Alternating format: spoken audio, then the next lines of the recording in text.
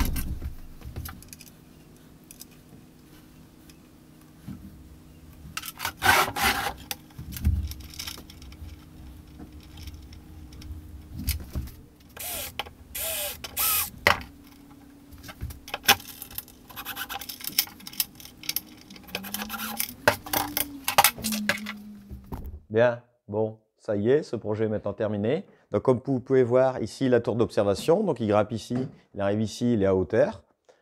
On manœuvre ici avec le petit crochet de sécurité pour l'ouverture et hop, on se retrouve ici avec un bureau. Donc vous pouvez voir, il peut s'asseoir là, il a son petit bureau. S'il a un frère ou une sœur, il peut s'asseoir de l'autre côté et être en face et jouer ensemble. N'oubliez pas, vous retrouverez tous les plans dans la description juste en dessous, ainsi que les petits accessoires en lien. Moi, je vous remercie d'avoir regardé cette vidéo. Je vous rappelle le nom de la chaîne, la chaîne DB Bois. N'hésitez pas à commenter, liker, partager, vous abonner, enfin vous savez tout ce qu'il vous reste à faire. Mais le plus important, prenez soin de vous. Allez, à la prochaine. Ciao